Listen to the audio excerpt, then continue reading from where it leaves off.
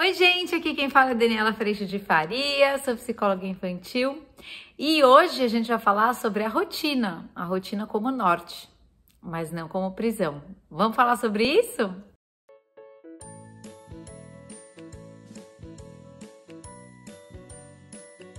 Oi, gente, tudo bem? Antes de mais nada, se inscreva aqui neste canal, dê alerta neste sino para que você receba notificações de novos conteúdos que vão vir pela frente.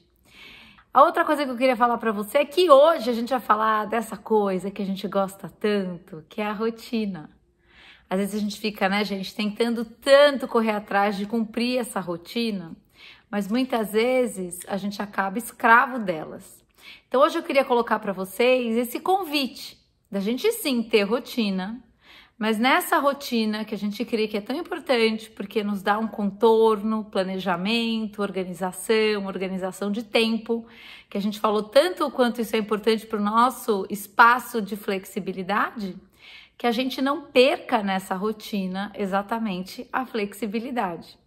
Uma das coisas que eu tenho feito muito aqui em casa é fazer planos, sim, planejar meu dia. Eu tenho feito de uso de boas ferramentas que eu vou trazer para vocês, para separar até nesse dia o tempo para cozinhar, o momento para almoçar, para estar tá realmente usando do tempo com sabedoria e com flexibilidade. Mas o que eu queria trazer para vocês antes de trazer essa dica é o quanto muitas vezes a gente não vai poder mexer no o que da rotina.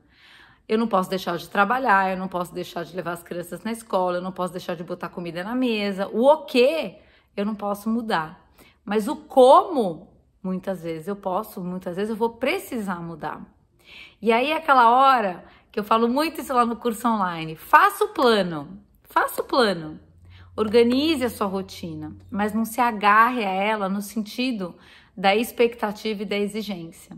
Porque muitas vezes a gente está tão agarrado a esse plano que o, que acaba acontecendo é que essa rotina, ao invés de nos ajudar a lidar com tantos afazeres que a gente tem hoje em dia, ela vai nos sobrecarregar, nos estressar, nos deixar rígidos e inflexíveis, porque muitas vezes, a gente vai falar isso no, no próximo vídeo, a gente que está pondo o nosso valor nessa rotina impecavelmente cumprida. Então, cuidando de manter o o quê? Eu não posso falar, ah, então deixa, eu vou fazer o que eu quiser. Não, a gente tem obrigações e responsabilidade. Mas a gente pode fazer tudo isso de um lugar que é o famoso melhor possível, do meu melhor possível, considerando como eu estou hoje, como os outros à minha volta estão, como está a vida, o que, que aconteceu. Porque muitas vezes a nossa sabedoria vai nos convidar a rever o plano a gente poder rever o plano, rever principalmente o como a gente vai executar esse plano, gente, é muito importante. Isso vai fazendo com que a nossa vida fique mais leve. Então, faz o plano. E eu queria trazer para vocês essa ferramenta que eu fui apresentada alguns anos atrás pelo meu marido, depois de muita resistência, eu tenho que confessar, que é uma agenda Google. Você usar uma agenda eletrônica onde você acessa e organiza tudo isso no seu celular, no seu computador, você altera.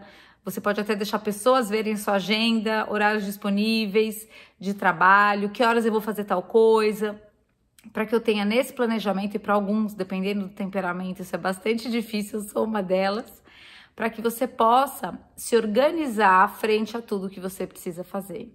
Mas aí não se agarra. Por quê?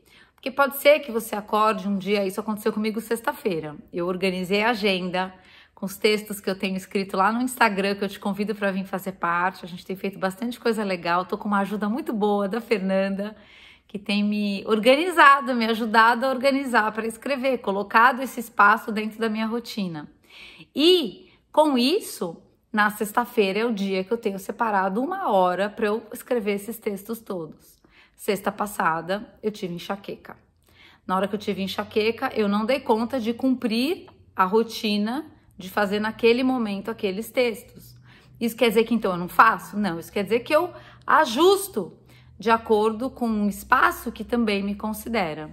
Ou talvez você tinha feito todo um planejamento e um filho caiu e você vai precisar agora socorrer em outra coisa. Aquilo lá desapareceu? Não, mas você vai realocar aquilo dentro do teu melhor possível e de, de quando vai ser possível lidar com aquilo.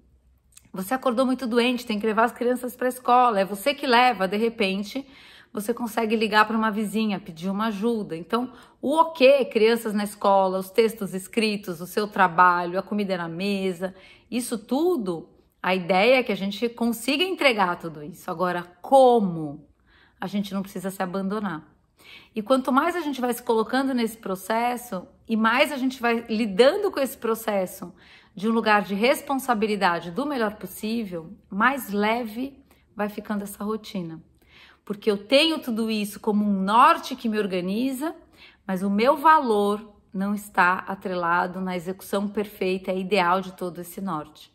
Eu entendo que eu sou falha, que coisas acontecem, que imprevistos acontecem, que eu tô no meu melhor possível, assim como as pessoas com quem eu convivo, e nesse lugar a gente vai exatamente lidando um dia de cada vez, por fazer o melhor possível, com esse norte que nos organiza, mas sem estarmos escravos dessa rotina que a princípio a gente fez para nos ajudar. Nessa escravidão, eu entendo que na hora em que eu não cumpro essa rotina da forma como eu idealizei, ou seja, de uma forma ideal e perfeita, eu começo a me irritar, a me frustrar, porque eu tô na expectativa de que tudo tinha que andar incrivelmente perfeito para que tudo desse certo, para que no fim do dia eu tivesse yes, consegui. E viver dessa forma acaba se tornando muito estressante exatamente porque a gente não controla todas as coisas. Aliás, a gente tem muito pouco controle, principalmente no que se refere às nossas atitudes. Isso a gente pode cuidar. Mas o filho cair, o imprevisto acontecer, a dor chegar, muitas vezes a gente não vai ter controle sobre isso. E a tendência é que a gente continue se arrastando nessa rotina para que a gente possa é, tentar ser essa pessoa que, num primeiro momento, a gente pensou que tinha que ser para ter valor, amor, reconhecimento, amor e pertencimento. Então, eu te sugiro esse exercício, organizar a sua semana, o que que você vai, que horas você cozinha, que horas você leva as crianças, quanto tempo você precisa, dias mais apertados, dias mais folgados, o que que você pode pôr, é, marcar o médico, a sua rotina de trabalho, como que está organizado, o tempo no carro, o tempo no trânsito. Se eu sair mais cedo, se eu sair mais, como é que eu posso ir mexendo nessa rotina para que a gente possa exatamente criar um dia a dia prazeroso? Às vezes a gente espera muito, né? Eu vou descansar quando? Quando eu tiver a viagem, as férias, aliás, eu amo, mas quando eu tiver aquele descanso, descanso, descanso mas a gente acaba se colocando num dia a dia muito sobrecarregado e muito estressante. Imagina que todos os dias pode haver nessa rotina o cafezinho depois do almoço, que é um espaço de 15 minutinhos de descanso. Tudo aquilo que a gente veio falando no vídeo que a gente fez, que eu fiz há pouco tempo sobre encher o tanque, mais paciência, mais espaço, mais flexibilidade. Quando a gente está sob pressão, o que, que acontece? a gente acaba estourando, porque a gente vai tentando carregar muita coisa de uma vez. Às vezes em pouco espaço de tempo, às vezes na, na, na impossibilidade de dar conta de tudo sozinho. Quando a gente vai se organizando, a gente consegue inclusive se organizar para pedir ajuda, para não estar tá sozinho nessa caminhada, para não ter que fazer tudo sozinho, para de repente nesse jantar que eu tô tão cansada hoje, que me considera também e que precisa ter comida na mesa, talvez eu faça uma sopinha, talvez a gente faça um lanche, o jantar acontece, percebe? O que tá lá, mas o como também me considera e considera as necessidades do outro. Desse jeito, a gente não tá escravo da rotina, a rotina também não tá escravo da gente, no sentido da gente achar que pode fazer o que quiser quando quiser e se descuidar da responsabilidade das nossas tarefas, mas a gente está caminhando um dia de cada vez, navegando a cada dia, nesse dia único que acontece na nossa vida muito agradecidos por toda a oportunidade de aprendizado, no que, que deu errado, que, onde é que eu me embolei, me sobrecarreguei hoje, me agitei hoje e como é que eu posso na próxima semana me preparar ou no próximo dia me preparar para não cair na mesma armadilha de sobrecarga. Óbvio que sempre cumprindo com a nossa responsabilidade. Parece muito difícil esse lugar, parece que ele está bem ali no meio, né? E ele está. Mas conforme a gente não vai se abandonando, a gente vai se considerando nessa conta, além de considerar o que precisa acontecer e os outros à nossa volta, a gente vai achando esse espaço de consideração, de ajuda, de leveza, de perdão, mas principalmente do melhor possível. O vídeo de hoje foi esse. Eu espero que tenha colaborado. Organize a sua agenda. Use essa agenda que você visualiza e ponha nela, inclusive as coisas corriqueiras. Ir buscar as crianças e voltar. Que horas é isso?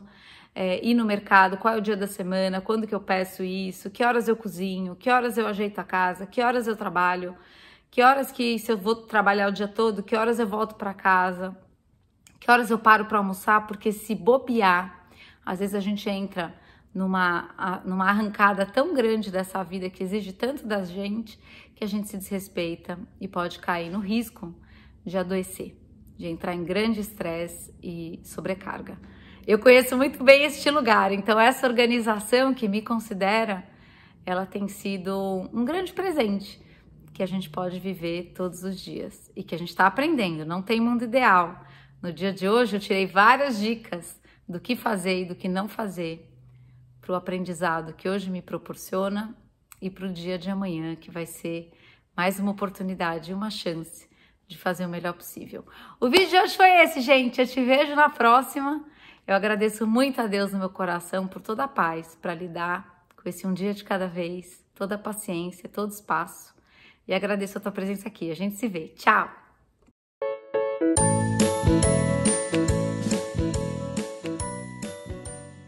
Você gostou desse vídeo, se inscreva no canal e espalhe essa ideia. Tchau!